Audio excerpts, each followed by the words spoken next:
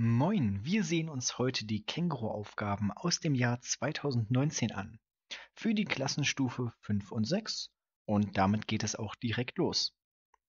Die Vorbedingungen sind wie immer 75 Minuten Zeit, kein Taschenrechner, Startpunktzahl 24. Beginnen wir mit Aufgabe A1. Welche der folgenden Rechnungen hat das kleinste Ergebnis? Worauf muss ich bei der Aufgabe achten? Ausnahmsweise geht es mal um das kleinste Ergebnis. Ja, die Jahre davor war immer die größte Zahl gesucht. Also, das ist, glaube ich, schwieriger als Punktrechnung geht vor Strichrechnung. Schauen wir uns einfach mal die Ergebnisse an. 2 mal 0 ist 0. 0 plus 9 ist 9. Machen wir gleich d unten drunter. 2 plus 1 ist 3. 3 mal 9 ist 27. Die b. 2 mal 1 ist 2. 2 mal 9 sind 18. Und die e. 2 mal 10 sind 20. Und die c bleibt übrig. 9 plus 1 plus 2 sind 12. So, jetzt nochmal ordentlich lesen. Wir suchen das kleinste Ergebnis. Das ist offensichtlich Antwortmöglichkeit A. Ich werde mir jetzt immer versuchen, das symmetrisch mit Gelb anzustreichen, damit man es gut erkennt. Ja, wir sind schon bei der zweiten Aufgabe. Johanna hat angefangen, mit schwarzem Filzstift eine Katze zu zeichnen. Ja, hier so ein kleines Tierchen. Wie könnte die fertige Katze aussehen? Ja, worauf achten wir da? Wir denken uns erstmal, sie hat kein Tippex oder sonstige Stifte dabei, ja. Was sie schon gezeichnet hat, hat sie, das lässt sich nicht mehr rückgängig machen. Wir sehen an der dreieckigen Nase, die sie hier gezeichnet hat, so eine muss auch das fertige Tier haben. Damit, ich nehme mal noch einen Farbstift, scheidet diese Katze schon einmal aus. Die hat eine feinere Nase, diese Katze scheidet auch aus, da ist die Nase umgekehrt. Und, aber aufpassen, bei Antwortmöglichkeit A, diese Nase halte ich grundsätzlich für möglich, denn man könnte die Nase verlängern, auch wenn sie im Gesicht ein bisschen woanders sitzt. Ja? Aber sehen wir uns lieber mal noch die Ohren an. Die sind bei Johanna im Prinzip komplett schwarz ausgemalt. Da ist klar, C und A können es auch nicht sein. Da sind die Ohren nämlich leer. Es kann nur Katze B entstehen. Ja, bis hierher denke ich ganz einfach. Das Maya-Volk hat Zahlen mit Punkten und Strichen geschrieben. Bei den Maya-Zahlen von 1 bis 19 steht ein Punkt für 1 und ein Strich für 5. Rechts steht die Maya-Zahl 8. Ja, ein Strich sind 5. 1, 2, 3 sind 8. Okay. Wie sieht die Maya-Zahl 17 aus? Ja, ne, teilweise ist es etwas seltsam. Diese Aufgaben sind extrem einfach. Spätere Aufgaben werden wir sehen, waren dieses Jahr sehr, sehr schwierig. Aber hier, das ist ja im Prinzip geschenkt. Wir wollen 17. Das ist also drei lange Striche für 15. Dann noch zwei dazu. Natürlich ist Antwort C richtig. Aufgabe A4. Auf den sechs Seiten eines Spielwürfels sind ja ein bis sechs Punkte. Auf gegenüberliegenden Seiten sind zusammen stets sieben Punkte. Sowas musste man bei früheren Arbeiten übrigens noch selber wissen als Schüler. Heute wird einem das netterweise gesagt. Naja, nur eine der folgenden Abbildungen zeigt einen Spielwürfel. Welche? Sehen wir uns also mal an, welche vier Fehler, äh, welche vier Würfel einen Fehler haben. Hier sehe ich sofort 5 plus 2, das sind 7. Ja, die müssten eigentlich gegenüber sein. Überprüft ruhig mal euren eigenen Spielwürfel. Seht ihr, es geht nicht. Hier, 4 und 3 sind 7. 3 und 4 sind 7. 1 und 6 sind 7. Ja, es bleibt ja nur der Würfel E übrig. Da sehen wir auch, ja, die 2, die 4, die 6, alles in Ordnung. Hier hätten sie sich ruhig ein bisschen mehr Mühe geben können und vielleicht mal äh, eine der Zahlen auf die rechte Seite vom Betrachter aus. Naja, erste Seite geschafft. Ich denke wirklich extrem einfach. Sehen wir uns mal die zweite Seite an. Aufgabe A5. Welche der folgenden fünf regelmäßigen geometrischen Figuren Dreieck, Viereck, Sechseck, Achteck, Zwölfeck ist im rechts abgebildeten Muster nicht enthalten. Wie lösen wir die Aufgabe? Ganz klar. Wir schauen uns einfach mal an, äh, was wir in dem Muster haben. Ja? Ich gehe einfach mal rein und markiere bunt. So, das ist offensichtlich ein Viereck und weil es so einfach ist, nehmen wir es noch mit. Das ist ein Dreieck. Viereck und Dreieck, die kommen also auf jeden Fall vor. Ja, weiter geht's. Hier in der Mitte, das erkenne ich nicht ganz genau, wie viele Ecken das hat auf einen Blick. Vielleicht zähle ich die einfach mal. Eins, zwei, drei, vier, fünf, sechs. Aha, ein Sechseck. Das ist also, oh, muss ich aufpassen, jetzt hätte ich beinahe das Achteck weggestrichen. Hier ist das Sechseck, kann auch weg. So, und jetzt sehen wir noch diesen Außenkreis. Also ist ja kein wirklicher Kreis, aber für so ein Kirchenfenster zählt das mal als Kreis. Zähle ich auch wieder. 1, 2, 3, 4, 5, 6, 7, 8, 9, 10, 11, 12. Das ist das Zwölfeck. Ja, man kann das gern noch ein bisschen weiter spielen, aber wenn man mal genau reinschaut, in diesem Fenster, ja, da gibt es keine anderen Figuren. Das bedeutet, D ist richtig, D gibt es nicht. Immer genau auf die Aufgabenstellung achten. Hier ist gesucht, welches Muster ist nicht enthalten. Und das ist D. Ja, nicht, dass man das erstbeste Figürchen danach zählt und auf einmal merkt, ah, Zwölfeck, ich freue mich, ich habe es gefunden, E ist richtig, E ist aber dann gerade falsch. Ja, Aufgabe A6. Yannick hat auf die sechs Seiten eines Würfels die sechs kleinsten die sechs kleinsten ungeraden natürlichen Zahlen geschrieben. Ja, das ist ein bisschen, bisschen blöd. Also das sind, das sind so viele Beschreibungen für Zahlen, da müssen wir mal der Reihe nachgucken. Natürliche Zahlen sind die Zahlen 1, 2, 3, 4, 5 und immer so weiter, ja, die man auch schon in der Grundschule vom Zählen bis 100 und so weiter, Verstecken spielen, was weiß ich, äh, diesen ganzen Sachen kennt. Ungerade Zahlen sind die 1, die 3, die 5, die 7 und so weiter. Die sechs kleinsten ungeraden natürlichen Zahlen sind also die 1, die 3, die 5, 3 brauche ich noch, die 7, die 9 und die 11. Wozu ich die brauche? Keine Ahnung, ich schreibe sie einfach erstmal auf, dann lese ich die Aufgabe weiter, ist bestimmt sinnvoll.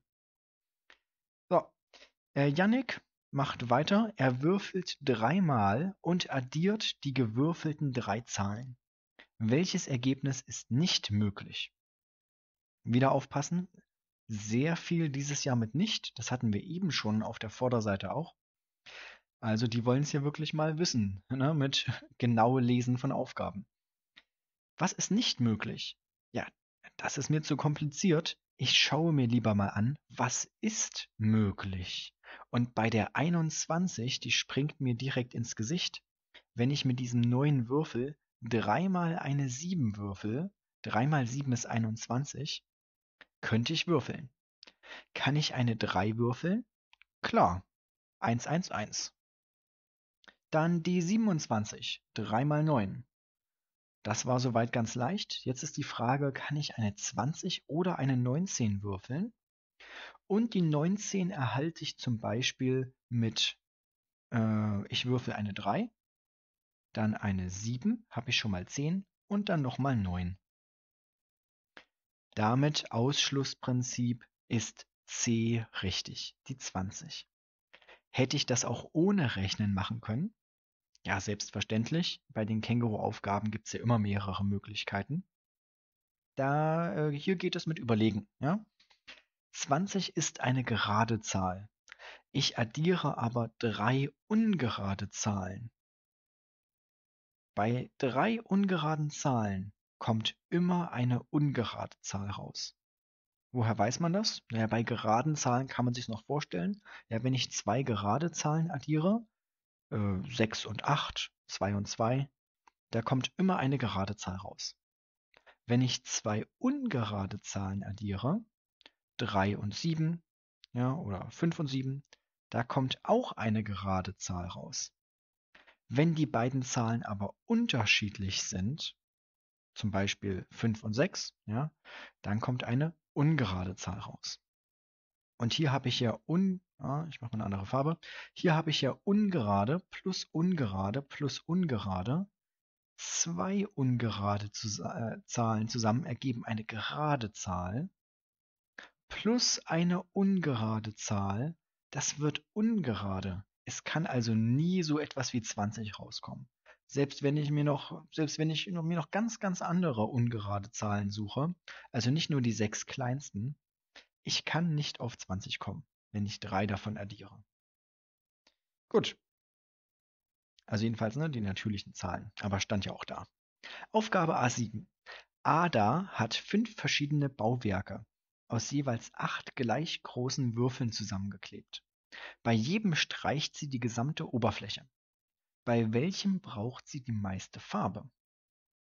Ja, hier müssen wir mal schauen, worum geht es eigentlich. Da, ne, ich hätte jetzt auch aus der Mathematik einfach mal direkt die Oberfläche bei jedem berechnet und dann verglichen.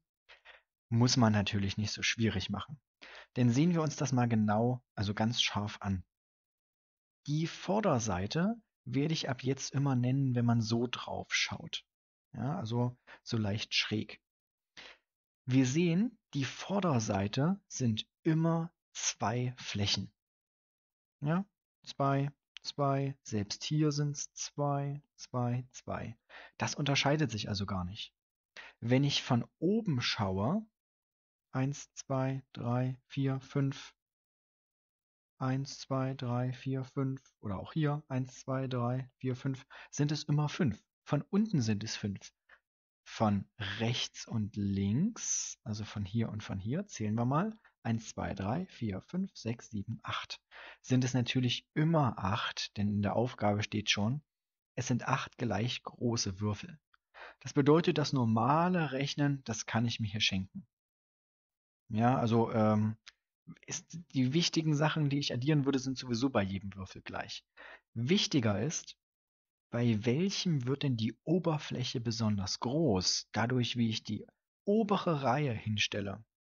Und ganz klar, umso weniger Steine sich berühren, umso mehr Oberfläche habe ich. Sehen wir uns nämlich mal diesen Stein hier an, ja? Der hat zwei Lücken links und rechts und von daher muss ich dort auch noch malern. Im Prinzip stehen beim ersten Klotz alle drei Steinchen einzeln. Hier dagegen habe ich meine Verbindung, da muss ich in der Mitte zwischen den beiden Steinen nicht malern. Hier habe ich eine Verbindung, hier habe ich mehrere, hier habe ich mehrere, alles in Ordnung. Ohne jede Rechnung kann ich also mit Sicherheit davon ausgehen, dass bei Möglichkeit A ähm, die meiste Farbe gebraucht wird. So, die letzte von den leichten Aufgaben. Wenn man das Alter aller Kinder aus meinem Nachbarhaus addiert, dann erhält man 56. Wenn man das Alter dieser Kinder in zwei Jahren addiert, dann erhält man 78. Wie viele Kinder wohnen in meinem Nachbarhaus? Ja, das ist mal wieder so eine Frage, wo ich am liebsten erstmal wissen würde, ne, wie alt sind die Kinder, ähm, das einzeln ausrechnen will. Und diese Art von Känguru-Aufgaben sind so, wir finden wenn wir die Aufgabe rechnen, nicht mehr raus. Nur die Zahl, wie viele da wirklich wohnen. Wie machen wir das? Naja, in zwei Jahren ist das Ergebnis 78. Jetzt gerade ist das Ergebnis 56. Schauen wir doch mal, wie groß der Unterschied ist.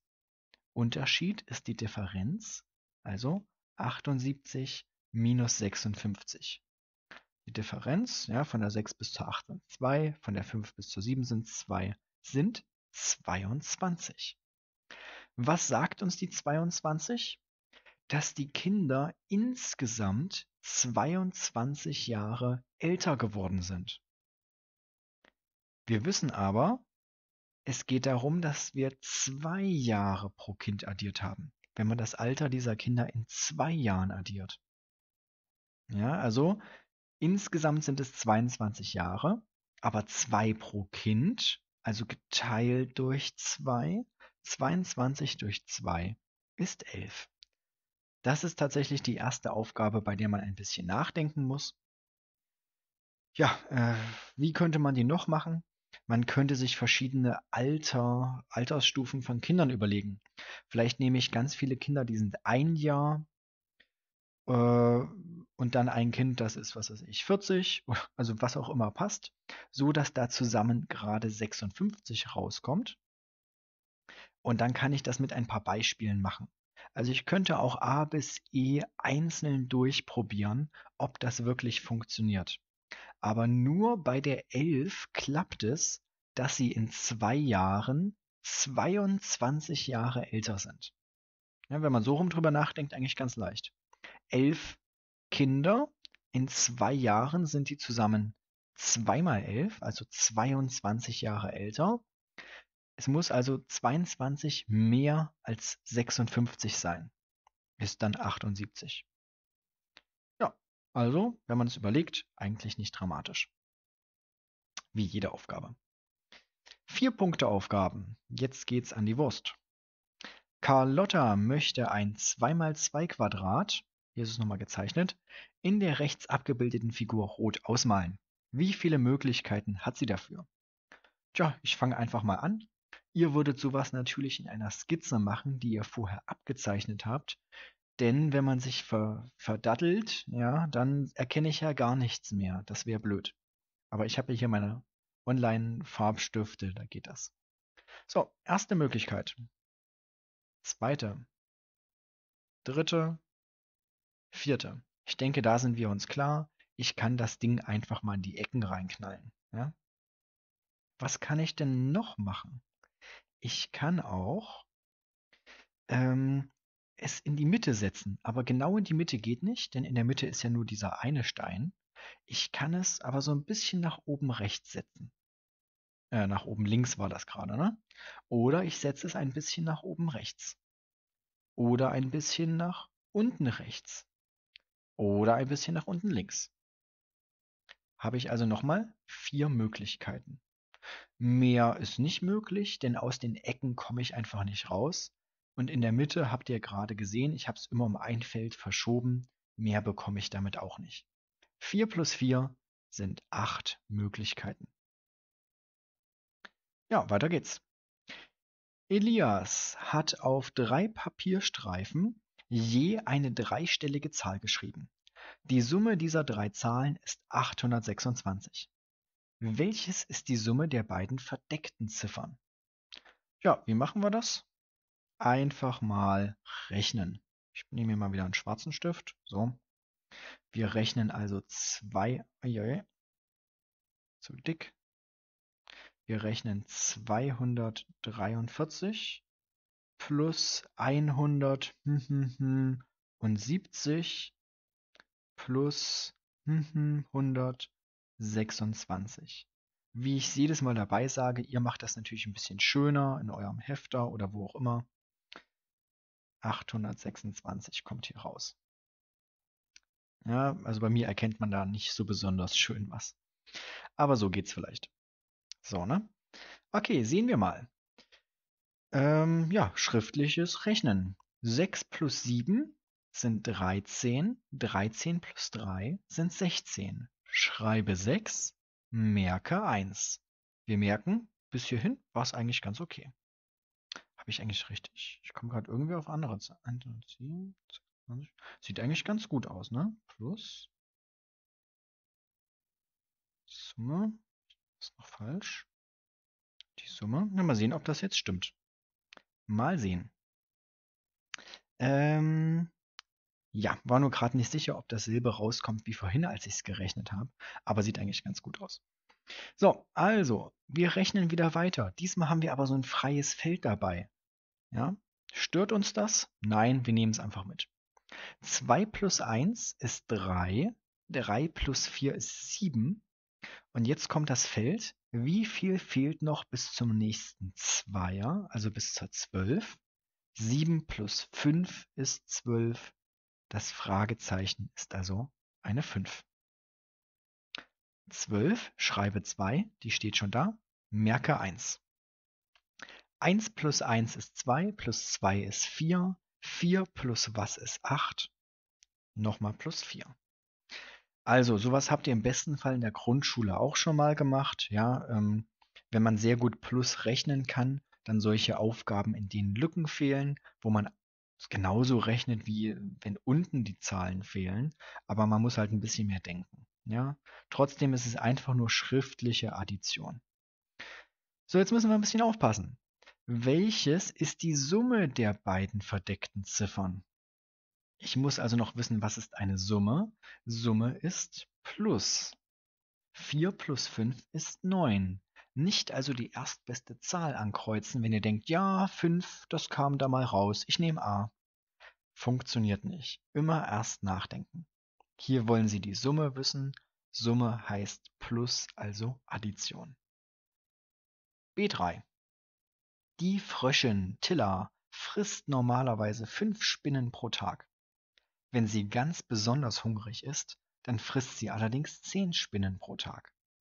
In den vergangenen neun Tagen hat Tilla 60 Spinnen gefressen. An wie vielen Tagen war Tilla besonders hungrig? Gut, was müssen wir wissen? Irgendein komischer Frosch, ja, die seltsamen Namen, daran haben wir uns beim Känguru-Wettbewerb ja so langsam gewöhnt. Ähm, so, Tilla frisst entweder fünf Spinnen oder sie frisst zehn Spinnen. Und sie hat neun Tage Zeit. Neun Tage ist wichtig und fünf oder zehn Spinnen. An wie vielen Tagen war sie besonders hungrig? Tja, ich probiere es einfach aus. Ich sag mal, sie war einen Tag besonders hungrig. An einem hungrigen Tag frisst sie zehn Spinnen. So, ne, ist jetzt eine Spinne. Das heißt, neun Tage, schauen wir nochmal auf die Zahl, sie frisst ja insgesamt neun Tage. Einen Tag war sie besonders hungrig, das heißt, acht Tage war sie nicht so hungrig. Da hat sie jeweils fünf Spinnen gefressen. Fünf mal acht, das sind 40. Also, sie hat an dem einen Tag zehn gefressen und an den anderen 40, das macht zusammen 50. Ja, äh, das äh, ist leider falsch, denn wir wollen ja 60 spinnen. Probieren wir also B aus. Ja, einfach weiter. Sie frisst zwei Tage richtig gut. Zwei Tage, das macht 20 Spinnen. Dann bleiben noch sieben Tage übrig. 7 mal 5, 45. Nee, äh, 35. Was erzähle ich denn? So, zurück. 7 mal 5 sind 35, 35 Spinnen. Macht zusammen 55. Ja, und weil das linear ist, das heißt, es geht immer so weiter, 1, 2, 3, 4, 5 bei den Lösungen und wir haben 50, 55, klar, bei C kommt 60 raus. Kleine Aufgabe für euch, probiert's ruhig mal, ob das stimmt. Ja, drei Tage, das hieße an jedem Tag frisst sie zehn Spinnen, dreimal das Ganze. Wie viele Tage von den neun bleiben dann noch übrig? Und an jedem dieser Tage, die übrig bleiben, frisst sie fünf Spinnen. Das ergibt zusammen, ich würde mal sagen, 60. So, vier Punkte Aufgaben. Nächste Seite. So, da sind wir. B4. Pia spielt mit einem Zollstock, der aus zehn gleich langen Teilen besteht. Ja, das macht jeder gerne, ne? Eine der folgenden fünf Figuren kann sie damit nicht bilden. Welche? Zwei Möglichkeiten. Entweder ich erkenne bei einer Figur den Fehler oder ich probiere einfach alle nachzubasteln. Ich mache das mal direkt. Ich beginne mit dem Stern. Ja? Wichtig ist bei einem Zollstock, also wer das nicht kennt, ich zeige nochmal kurz das Bild, ja, ein Messinstrument, so aus Pressholz oder sowas meistens, äh, in der Regel zwei Meter lang, ja, kann man halt schön mit messen. Wenn ich den ausklappe, bleibt er gerade. Ist eigentlich in jedem Werkzeugkoffer dabei. Wichtig ist, äh, man sieht es, es klingt nicht kompliziert, ist es aber scheinbar für einige. Er hat einen Anfang und ein Ende, nicht mehrere Enden. Ich kann ihn auch nicht einfach so abreißen. Wenn ich das sage, merken wir schon bei der Leiter, kann das funktionieren? Ich brauche ja irgendwie hier ein Ende und hier. Und irgendwo anders muss ich auch noch anfangen? Naja, das werden wir gleich sehen. Aber wenn man bei so einer Aufgabe sicher gehen will beim Känguru-Wettbewerb, ist es gut, wenn man vier Ergebnisse ausschließt und bei einem Ergebnis sich auch noch sicher ist, dass es stimmt, dann hat man alles geschafft. So, gehen wir mal durch. Eins, zwei, drei, vier, fünf, sechs, sieben, acht, neun, zehn.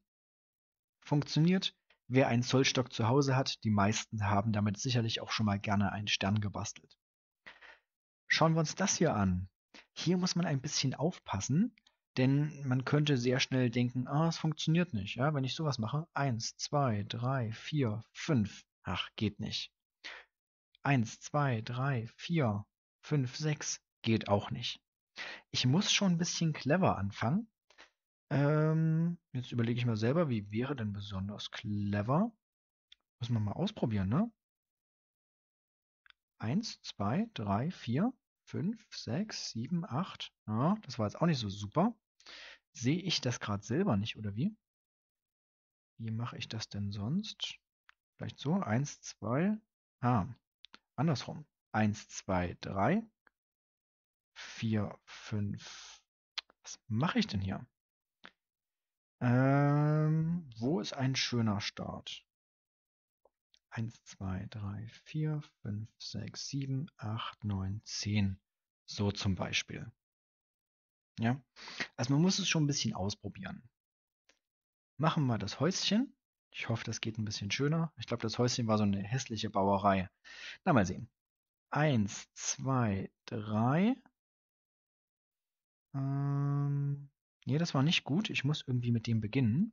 1, 2, 3, 4, 5, 6, 7, 8, 9, 10. Das Häuschen geht. Ihr seht, das ist so ähnlich wie das Haus vom Nikolaus. Ja, ich muss jede Strecke einmal gehen. Eigentlich ist es genauso wie das Häuschen vom Nikolaus. Nur, dass manche, wie das hier jetzt, ein bisschen hässlich sind. So. Wie beginnen wir wieder? 1, 2, 3, 4, 5, 6, 7, 8, 9, 10. Und damit habe ich alle gebaut, außer der Leiter. Ich zeige euch nochmal das Problem bei der Leiter. 1, 2, 3, 4, 5, 6, 7, 8. Und ich komme ja immer an einen Punkt, an dem ich mich aufteilen müsste. Funktioniert also nicht. Es liegt an diesen Sprossen. Also wie erwähnt, wer schon mal mit einem Zollstock gebaut hat, da kann man alle schönen Figuren bauen, wie sogar dieses interessante Doppelhaus. Leiter funktioniert leider nicht. Ja, damit ist aber Antwort C richtig. Sie wollten schon wieder wissen, was man nicht machen kann. Also das ist, nimmt echt Überhand in diesem Wettbewerb. Naja, B5. Ein Quadrat ist auf fünf unterschiedliche Weisen in kleinere, gleich große Quadrate geteilt. Bei welcher Unterteilung ist der schwarze Teil der Fläche am größten? Naja, sehen wir uns einfach mal die Brüche an, ob wir die kennen. Hier beim ersten ist ganz klar die Hälfte schwarz. Ich mache es mal rein. Ja? Die Hälfte ist schwarz. Sehen wir uns das Schachbrett mal an. C. Kurzes Hinsehen und dann merke ich, da ist auch die Hälfte schwarz. Und dann noch E. Da klappt das genauso. Wenn man das nicht so gut sieht, ich teile das gerne mal auf. Ja? Jetzt, das war vielleicht gerade nicht die beste Teilung, aber jetzt sieht man, ich habe immer einmal dieses Schwarz-Weiß-Muster. Da ist auch die Hälfte schwarz. Das bedeutet, die drei kann ich schon mal ausschließen. Da kann, es darf ja nur ein Ergebnis rauskommen. Ja? Es muss also bei einem der anderen Muster über die Hälfte schwarz sein. Und das wird blöderweise bei beiden sein. Wir müssen jetzt also aber sehen, welches ist davon am größten. Wie zähle ich solche Brüche? Naja, das ist fast eine Scherzfrage, indem ich sie einfach zähle. Wie viele Muster habe ich bei B? Also wie viele Vierecke habe ich zusammen? 3 mal 3, das sind 9. Wie viele sind schwarz? 5. B, da habe ich 5 Neuntel in schwarz. Überhaupt nicht dramatisch. Dasselbe bei D. Dieses Mal habe ich 5 mal 5, das macht 25 Felder. Wie viele sind schwarz? Bevor ich mich da verzähle, gehe ich lieber einzeln durch. 1, 2, 3, 4, 5. 6, 7, 8, 9, 10, 11, 12, 13. Ja, das ist jetzt etwas blöd. Wie vergleiche ich 5 Neunteln mit 13 Fünfundzwanzigsteln? Möglichkeit 1, Bruchrechnung. Ich bestimme eine Zahl, die ich durch 9 und durch 25 teilen kann. Das ist ähm, das kleinste gemeinsame Vielfache. Ist ein bisschen anstrengend. Ich muss nämlich wahrscheinlich hier 25 mal 9 rechnen. Ja, tatsächlich. Und dann muss ich das 25 mal 9 sind 225. Dann muss ich das in 225 umrechnen. Tja, und dann muss ich sehen, welche Zahl ist größer. Möglichkeit 2. Bauchgefühl. Ja, schauen wir uns das mal an. Die 5 Neuntel und die 13 25. Die meisten können am Gefühl erkennen, was dunkler ist, beziehungsweise was mehr ist. Das ist B. Ich weiß nicht warum, aber das können Menschen scheinbar wirklich gut. Ist jetzt natürlich nicht so super mathematisch, auch wenn man bei zwei Lösungen, die noch übrig sind, beim Känguru-Wettbewerb ruhig mal raten kann. Ja, da lohnt sich das wieder, wenn ich nur noch zwei habe. Ja, aber was könnte ich denn sonst noch machen? Äh, basteln ist nicht so sinnvoll. Wie erwähnt, die Brüche zu vergleichen auch nicht. Es gibt hier noch eine Merkregel. Wenn ich einen Bruch habe und ich habe mehr als die Hälfte, sehen wir uns mal die Neuntel an, Vier Neuntel, also vier von neun, ist ja weniger als die Hälfte und fünf von neun ist dann gerade mehr als die Hälfte. Das stimmt ja also. Und nochmal der andere. 13 von 25, 12 von 25 wäre ein bisschen weniger als die Hälfte. Das ist also ein bisschen mehr als die Hälfte. Wenn ich solche Brüche habe, dann ist entscheidend, wo die einzelnen Brüche größer sind. Bei den Neunteln wie groß ist ein Neuntel? Das sehen wir hier. So groß wie dieser ganze Stein. Dagegen ist ein 25. so ein ganz kleiner Stein. In diesem Fall, wenn ich knapp über die Hälfte habe, ist der Bruch größer, bei dem äh, der Nenner, das ist die Zahl unter dem Bruchstrich, kleiner ist. Also größere Steine kann man sich merken, oder wie hier, ja, so größere Kuchenstücke oder was auch immer das sein soll. Umso größer die Stücke, umso besser für den Bruch. Dieser Bruch ist der Gewinner. Ich weiß nicht, ob das eine gute Eselsbrücke ist. Also wer es jetzt schon wieder vergessen hat, der merkt sich die ganz normale Bruchrechnung. So, Aufgabe B6. Ein kleines, äh, nicht ein kleines, ein großes gleichseitiges Dreieck ist, wie im Bild rechts zu sehen, in kleinere gleichseitige Dreiecke geteilt. Ja, kann man super erkennen. Großes Dreieck, kleines Dreieck. Die Seitenlänge des kleinen grauen Dreiecks beträgt 1 cm. Melanie zeichnet den Rand des großen Dreiecks dick nach. Wie lang ist dieser Rand? Ja, ich weiß nicht, warum diese Aufgabe in dieser Kategorie kommt, denn schwer ist die nicht. Also die ist wirklich nicht schwer.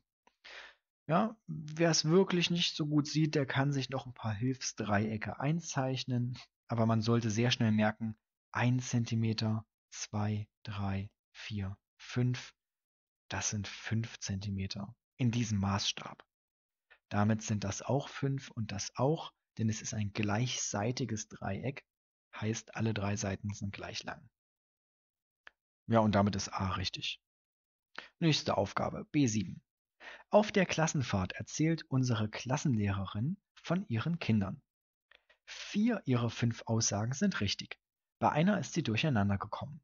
Bei welcher? Ja, wie machen wir so eine Aufgabe? Zeichnerisch. Immer was zeichnen kann nie schaden. Ich zeichne, also es geht jetzt gleich um Jungen und Mädchen. Ich werde die so zeichnen, dass man es schnell erkennt. Ja? Meine Tochter Anna hat zwei Brüder. Wenn das stimmen sollte, hat sie also ein Mädchen, so, das ist Anna, und zwei Brüder. So, das sollen die Jungs sein. Das ist also Aussage A als Bild. Aussage C, ich habe fünf Kinder. Da wissen wir gar nicht, ob es Jungs oder Mädchen sind. So, mache ich die einfach rund und wohl genährt. Das sind die fünf Kinder. Meine Tochter Anna hat zwei Schwestern. Wenn das stimmt, ja, jetzt habe ich einen Junge gezeichnet, dann müsste sie drei Mädchen haben.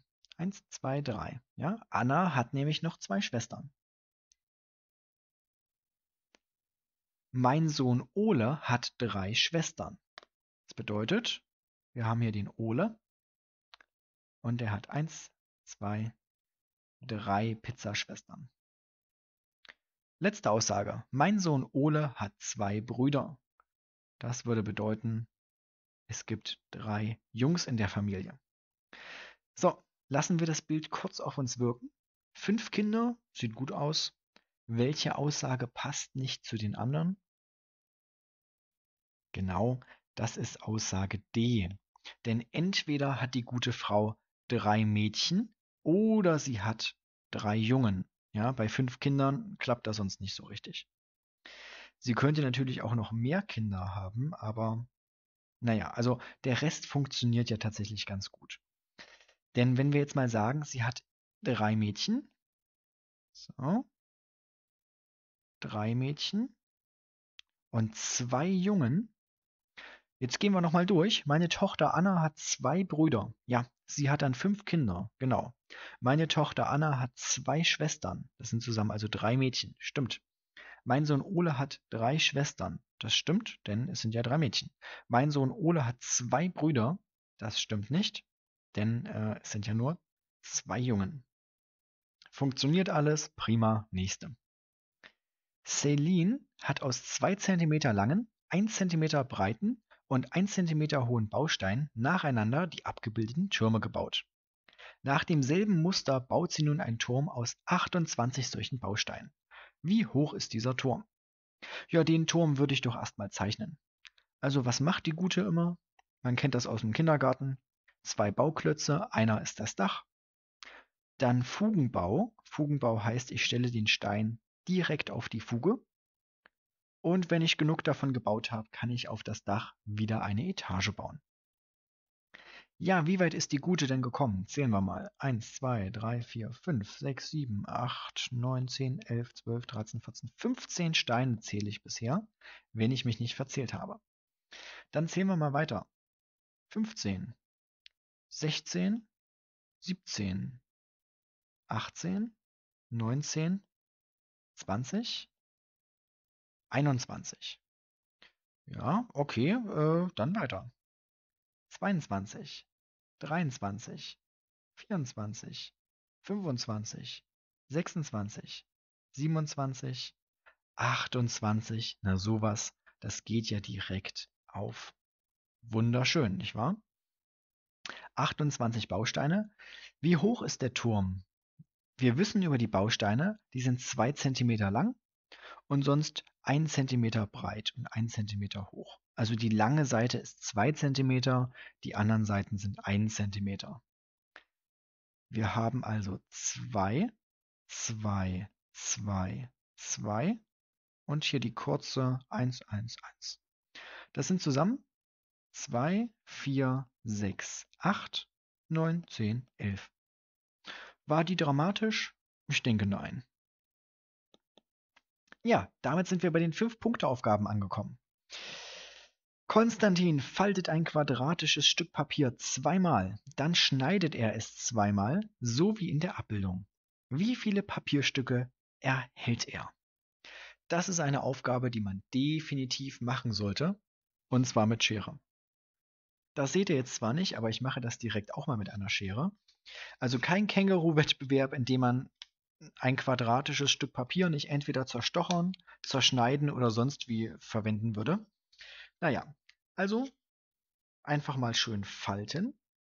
Und dann nehme ich mir hier eine Schere.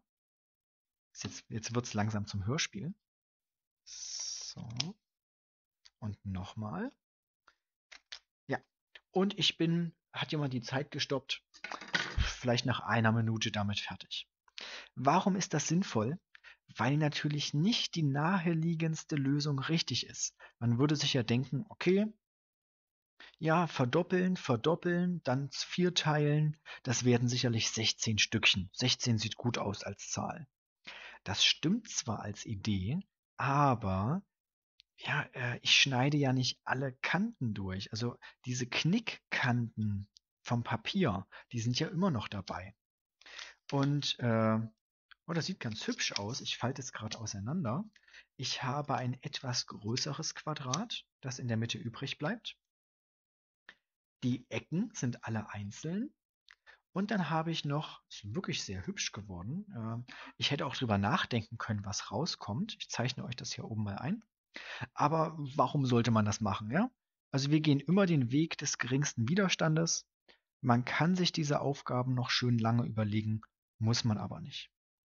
Also das hier kommt raus. Ja, wie hätte man drauf kommen können, aber naja.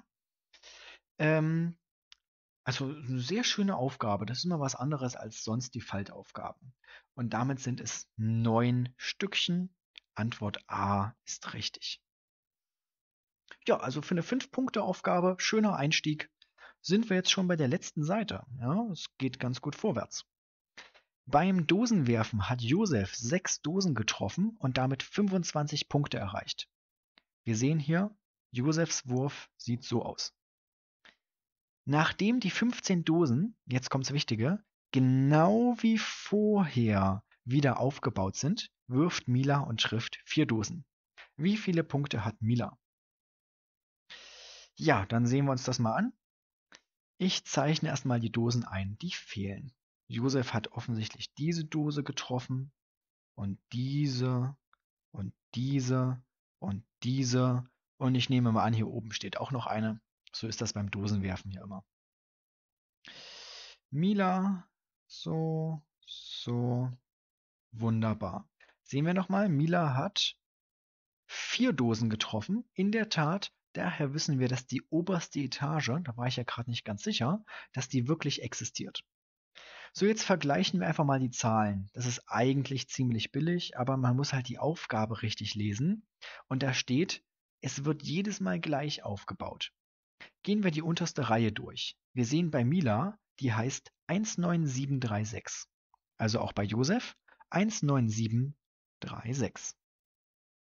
Weiter geht's. Wir wissen von Josef, dass die nächste Reihe mit einer 8 anfängt. Und wir wissen von Mila, dass hier 8, 2 hinkommt. Wir wissen wieder von Josef, dass hier eine 4 kommt und von Mila, dass hier eine 3 steht. Ja, jetzt ergänzen sich die beiden gegenseitig. Hierhin kommt die 9 und hierhin die 4. Ja, und jetzt müssen wir mal sehen. Die oberste, die kennen wir leider nicht. Aber wir wissen, wie viele Punkte unser guter Josef hat. Der hat 25 Punkte.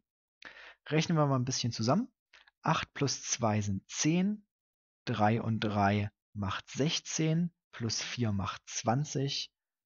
Da fehlen also noch 5. Ja, und damit kann ich jetzt ausrechnen, wie viele Punkte das Mädchen hat. 8 plus 4 sind 12, plus 9 sind 21, plus 5 sind 26. Ich hoffe, ich habe mich jetzt nirgendwo verrechnet. Ich habe jetzt niemand, der nochmal drüber schaut. Äh, passiert ja gerne mal sowas. Gucke ich nochmal eben. 8 plus 2 sind 10, 13, 16, 20, 25 sieht gut aus. Und bei Mila 14, 18, ja, ich würde sagen 26 ist eine tolle Lösung. C3. Nur auf einem der Würfel, die sich aus den folgenden Würfelnetzen falten lassen, ist eine geschlossene Linie zu sehen. Auf welchem? Wie kann ich so eine Aufgabe machen? Naja, ich kann wieder sehr leicht manche Sachen ausschließen. Zum Beispiel, ja, wenn man Würfel faltet, wir falten zum Beispiel ne, ganz klar sowas hier zusammen. Damit sehe ich direkt, hier geht ja gar keine Linie weiter. A ist falsch. Ich kann auch ein bisschen so auf mein Bauchgefühl schauen, wenn man sich die so anschaut. Ja, die Möglichkeit E, die sieht schon mal ganz gut aus. Äh, wie merke ich mir sowas immer? Ich würde mir immer ein Stück überlegen, dass ähm, der Startpunkt ist, ja, also wo ich den Würfel hinstelle. Ich stelle den Würfel jetzt mal auf diese Fläche. Damit klappe ich das hier rechts hoch und das hier ist das Dach. Ja, das interessiert ja nicht weiter. Dieses Stückchen, ich mache es mal weg, sonst sieht man es nicht mehr so gut. Also ähm, dieses gerade Stückchen, das wandert also hier so hin. Ja, ich klappe das ja hoch, da läuft das dann lang.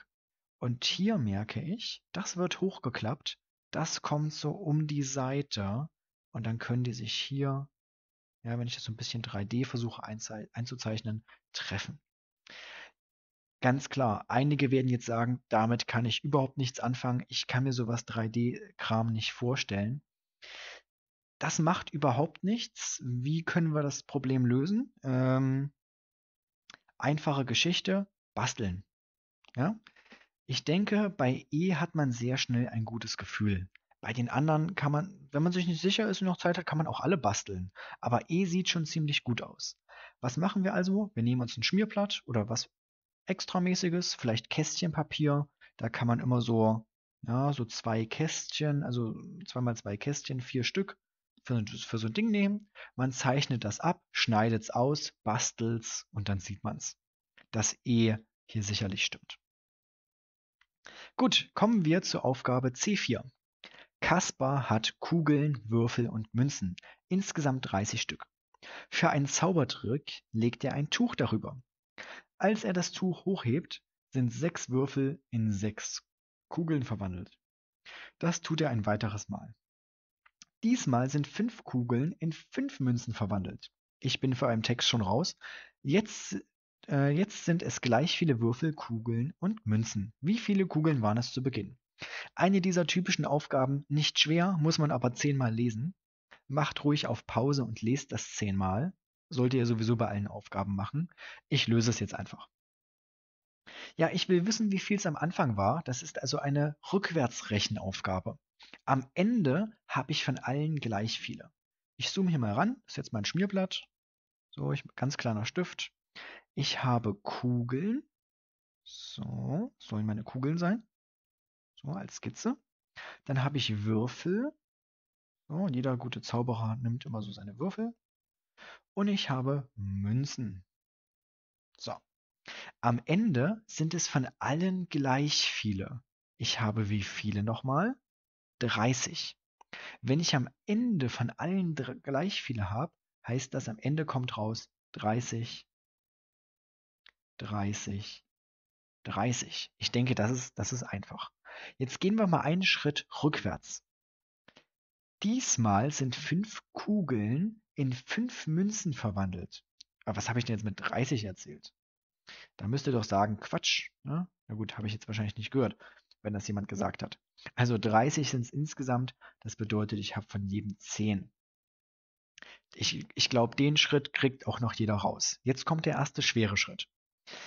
Er macht seinen Zaubertrick ein weiteres Mal. Ja, das erste Mal interessiert uns jetzt gar nicht. Wir gehen ja rückwärts. Dieses Mal sind fünf Kugeln in fünf Münzen verwandelt. Hier muss also irgendwas stehen und es werden aus fünf Kugeln fünf Münzen. Das bedeutet, vorher waren das fünf Münzen weniger und fünf Kugeln mehr. Lesen wir den Satz nochmal und schauen, ob das irgendwie logisch ist. Ja, das müssen natürlich dann zehn Würfel bleiben. Diesmal sind fünf Kugeln in fünf Münzen verwandelt. Fünf Kugeln, es wären fünf weniger, fünf Münzen mehr, sieht super aus. Das scheint zu stimmen. Der letzte Satz, das ist der, der eigentlich der erste ist. Als er das Tuch hochhebt, sind sechs Würfel in sechs Kugeln verwandelt. Das bedeutet, es waren anfangs sechs Würfel mehr und sechs Kugeln weniger. Gehen wir nochmal durch, ob das stimmen kann. Wir sagen mal 9, 16, 5 hat er sich hingelegt. Als er das Tuch hochhebt, sind sechs Würfel in sechs Kugeln verwandelt.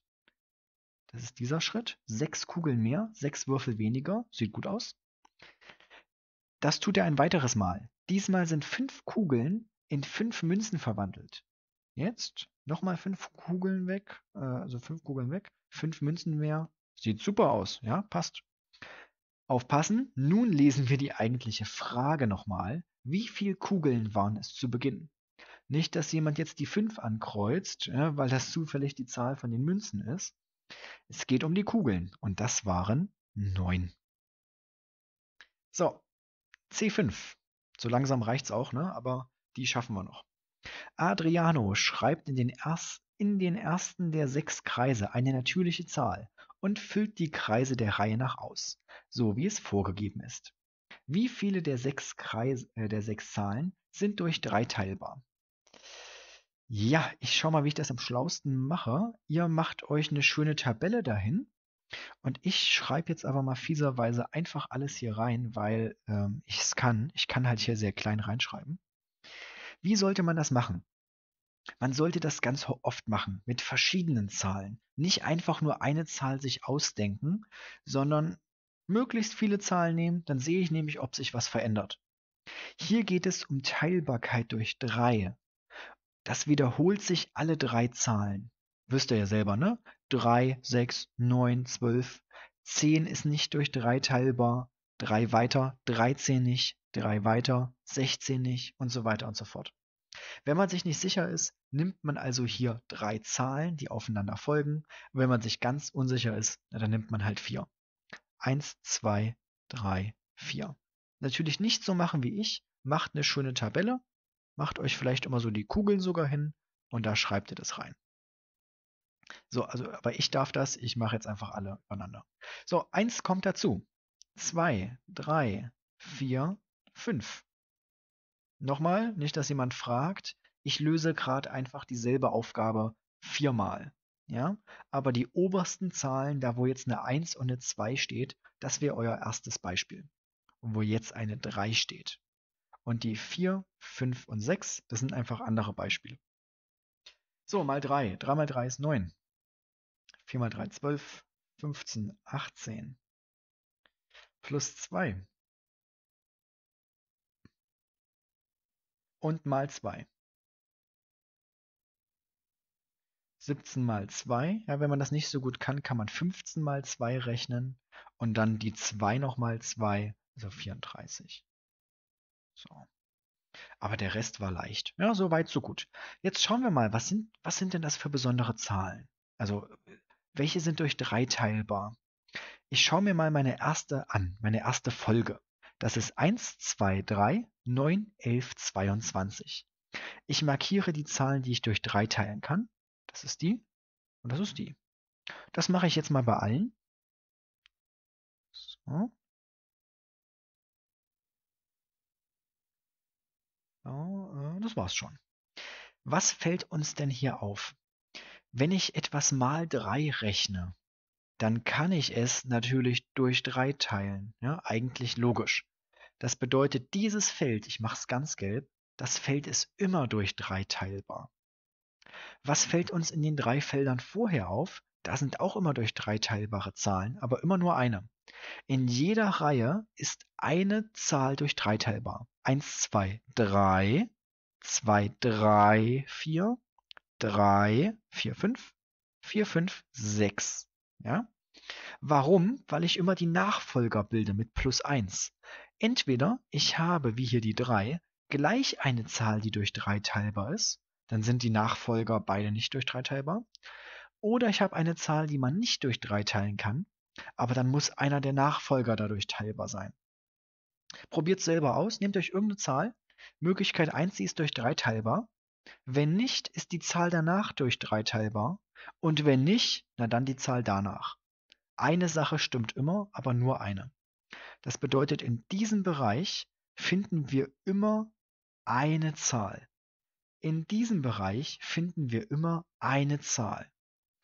Wenn ich eine durch 3 teilbare Zahl nehme und plus 2 rechne, dann kommt nie eine durch 3 teilbare raus. Ja? Das ist gerade wie eben mit dem Nachfolger. Aber wenn ich zum Beispiel die 3 habe und plus 2 rechne, habe ich 5 oder 6 plus 2 sind 8. Hier habe ich nie was dabei. Ja, wenn ich eine Zahl habe, die nicht durch 3 teilbar ist und ich rechne die mal 2, dann ist die immer noch nicht durch 3 teilbar. Denn ich habe ja nur mal 2 gerechnet. Ja? Könnte man auch an der Primfaktorzerlegung sehen, aber das nur am Rande. Wenn ihr das Video nochmal seht, wenn ihr älter seid, könnt ihr das ja äh, machen. Wie auch immer. So, also jetzt müssen wir genau lesen, welche Lösung stimmt denn. Wie viele der sechs Zahlen sind durch drei teilbar? Nur eine, eine oder zwei, genau zwei, zwei oder drei, drei oder vier. Ja, das sind genau zwei. Ja, nämlich eine der vorderen drei und dann die vierte Zahl. So, C6. Julie hat Selfies mit ihren acht Cousins gemacht. Jeder der acht Cousins ist auf zwei oder drei der Selfies, also mindestens doppelt, höchstens dreifach. Auf jedem Selfie sind genau fünf Cousins. Wie viele Selfies hat Juli gemacht? Wie finden wir das raus? Einfach ausprobieren. Äh, ja. Die Cousins heißen, wie ich weiß, ich kenne die zufällig 1 bis 5. Ja, ich, die haben sehr langweilige Namen, aber naja, den Eltern ist da nichts eingefallen. Also, die Cousins 1, 2, 3, 4 und 5 sind auf dem ersten Bild.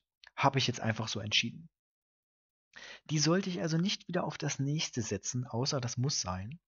Also es geht jetzt weiter mit 6, 7 und 8 für das nächste Bild. Jetzt habe ich keinen mehr übrig. Okay, jetzt muss ich von vorne anfangen. Ich mache eine Strich, einen Strich an die Cousins, damit ich weiß, ich hatte die schon. Also erstes Bild macht Juli mit 1 bis 5, alles super.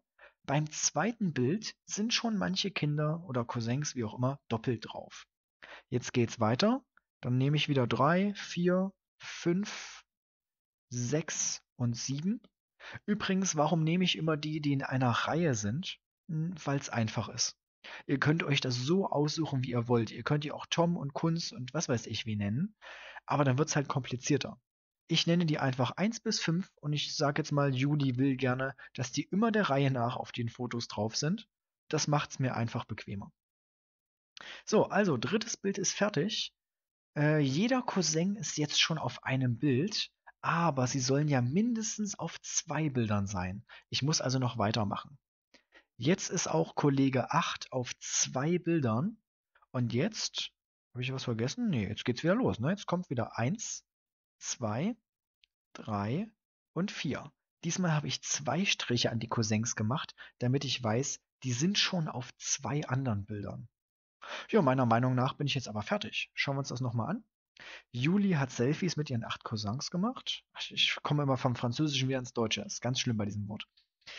Jeder der acht ist auf zwei oder auf drei der Selfies. Auf jedem sind fünf Leute. Wie viele Selfies hat sie gemacht? Also ich habe auf jedem fünf, ja.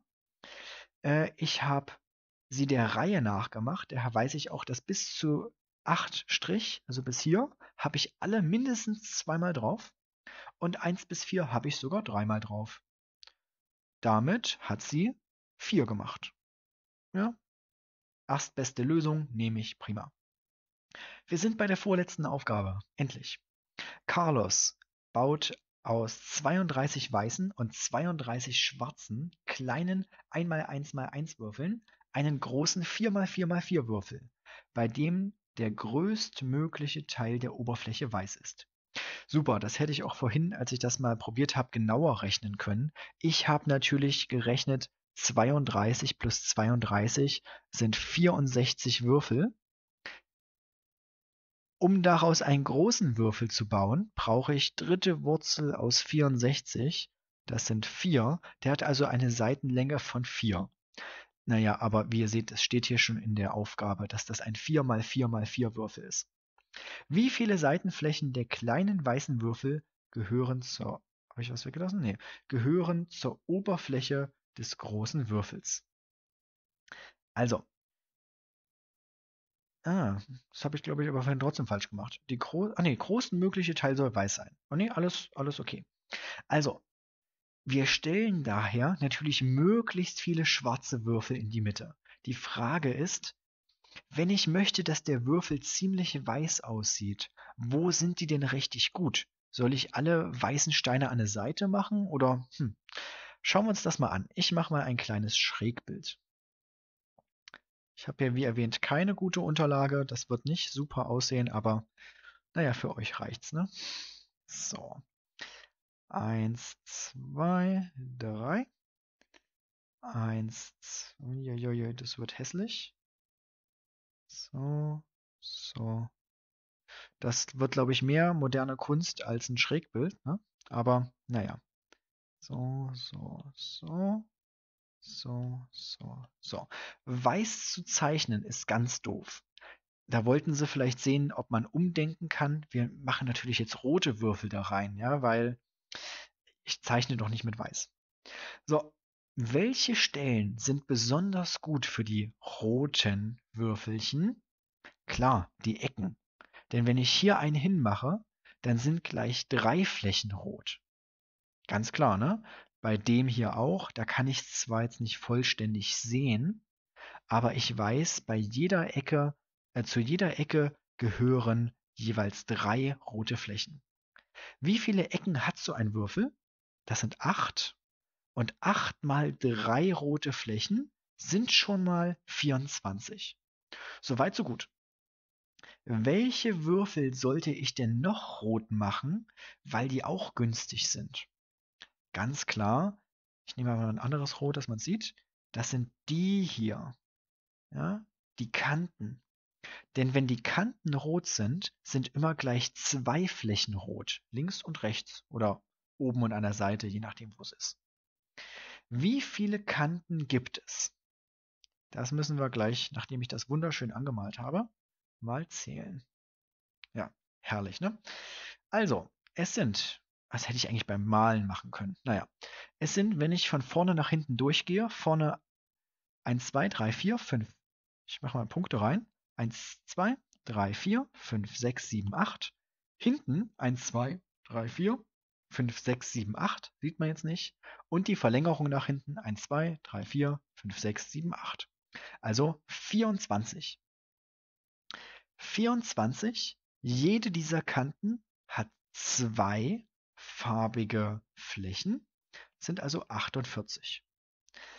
Ja, das ist am besten so zu machen. Netterweise, das ist, ne, ich, ich müsste jetzt vielleicht noch überlegen, muss noch irgendwo ein roter Stein hin? Aber die Antwort ist nein, denn 8 plus 24 sind schon 32. Damit bin ich fertig. Ich muss nur noch 24 plus 48 rechnen. 2, 1 gemerkt, sind 72. 72 kommt netterweise auch bei den Lösungen vor. Ähm, nebenbei, 72 ist so eine typische Mathezahl, würde ich sagen. Also wenn ihr irgendwo eine 72 seht, 64 sieht hier von der Lösung her noch schön aus. Aber wenn ich gerne raten möchte, dann nehme ich 64 oder 72. 76, 62, sowas kommt bei solchen Geometrieaufgaben nicht vor, ja, wo sich ja im Prinzip die Lösung selbst ergibt. Gut, letzte Aufgabe. Die Pakete mit den Preisen für, die Känguru, für den Känguru-Wettbewerb werden auf Paletten gestapelt. Am Abend stehen elf Paletten mit insgesamt 370 Paketen in einer Reihe. Auf den einzelnen Paletten sind unterschiedlich viele Pakete, aber auf je drei hintereinander stehenden zusammen stets genau 99 Pakete. Wie viele Pakete sind auf der sechsten Palette? Richtig blöde, blöde Aufgabe. Sowas hasse ich ja. Vor allem, weil ich sie nicht wirklich für lösbar halte. Schreibt gerne mal in die Kommentare, wie ihr das machen würdet. Ich zeichne jetzt erstmal die Paletten. 1, 2, 3, 4, 5, 6, 7, 8, 9, 10, 11. Auf den 11 Paletten zusammen sind 370 Pakete. Jetzt aber das, was ich nicht so wirklich verstehe. Wir werden es gleich sehen. Auf jedem sind unter, also ich, ich lese das so, auf den einzelnen Paletten sind unterschiedlich viele Pakete. Ich verstehe das so, auf zwei Paletten dürfen jeweils nicht gleich viele sein. Ich kann also nicht überall 33 oder so drauf machen. Also die 33 darf nach meiner Lesart gar nicht doppelt vorkommen. Jetzt geht's weiter. Aber auf je drei hintereinander stehenden sind zusammen stets genau 99 Pakete. Nochmal. Also ich habe das sind vom Vorsatz reingemacht, damit man es besser lesen kann. Aber auf je drei hintereinander stehenden zusammen sind stets genau 99 Pakete. Ich verstehe das so, die hier, das sind zusammen 99. Aber ich verstehe das eben auch so, die hier sind auch zusammen 99. Sehen wir uns mal an, was das meiner Meinung nach bedeutet. Und wie erwähnt, verbessert mich gerne in den Kommentaren, wenn ich hier irgend so leichten Trick mal wieder übersehe. Das tue ich nämlich sehr gerne. Ich sage einfach mal irgendwelche Zahlen, ja. 99 sollen es sein, hier sind es vielleicht 33, hier sind es 34, eins mehr, dann müssen es hier eins weniger sein, 32. Ich denke, das ist jetzt nicht dramatisch. Das funktioniert. Es sind zusammen 99. Aber auf diesen drei hintereinander stehenden müssen es ja auch 99 sein. Meiner Meinung nach. Das wieder bedeutet, dass hier nochmal die 33 vorkommen muss. Und das ist ja eigentlich ausgeschlossen gewesen. Also, daher finde ich die Aufgabe sehr seltsam. Aber lösen wir sie mal so, wie ich spontan dachte, oh, vielleicht wollten die das gerade wissen, denn es kommt eine dieser Zahlen seltsamerweise raus, wenn man ein bisschen rumrechnet. Daher würde ich die nehmen. Ich halte sie aber aktuell für nicht lösbar, die Aufgabe. So, wie machen wir das? Ich teile das ganze Zeugs einfach mal so. Ne? Das hier vorne sind zusammen 99. Also wir machen es wie immer beim Känguru, wenn man nichts Einzelnes rauskriegen kann. Wir lassen das Einzelne weg und machen einfach das, was geht. Der zweite Block sind 99. Das da hinten sind 99. Wie viel sind diese beiden Kisten zusammen? Kann ich rausfinden. Denn 99 plus 99 plus 99, das sind ja 300 minus 3, sind also, ich habe jetzt leider keinen Platz, das hinzuschreiben. Ich mache mal so einen Pfeil. 297. Insgesamt sind es aber 370 Kisten. Wenn es insgesamt 370 sind, dann fehlen noch 73 Pakete, die müssen also in diesen beiden hier sein. Wenn jetzt wiederum 73 Pakete in den beiden sind, bedeutet es, dass in diesen hier zusammen, das müssen ja auch 99 sein, wie viele sind, und jetzt seht ihr, aha, dann müssen das 26 sein. Und wenn man mit so viel komischem Hin und Her auf die 26 kommt und die steht auch noch als mögliche Lösung da, dann bin ich dafür, dass wir einfach die 26 nehmen. Das ist sowieso die einzige Zahl, die nicht so richtig reinpasst. Denn im Durchschnitt müssten ja 33 Pakete auf ein, ne, auf ein so, ein so eine Palette drauf. Drei, und die anderen Zahlen sind alle schon ziemlich in der Nähe von 33. Nur die 26 ist so ein Ausreißer. Daher finde ich, dass die 26 eine super Lösung hermacht. Äh, ja, zur Begründung, wie erwähnt, ich, so wie ich es gerade erklärt habe, kann man das vielleicht sehen, aber ich wüsste gerne, wie viele pa äh, Pakete sind denn auf jeder Palette? Ne, es muss ja eine Lösung geben. Vielleicht sowas wie 17, 24, 58, ich habe keine Ahnung. Aber ich wüsste gerne die elf Zahlen, die alle unterschiedlich sind und zusammen 370 ergeben. Und die sechste davon ist dann auch noch eine von denen, die da oben steht. Ja, also wenn das geht, gerne. Ich sehe da jetzt keine Lösung. Bis auf die eine, denke ich aber, war das beim Känguru ganz gut machbar. Ich hoffe, ihr seid da gut durchgekommen. Und damit sind wir auch für heute fertig. Ich wünsche noch einen schönen Tag und auf Wiedersehen.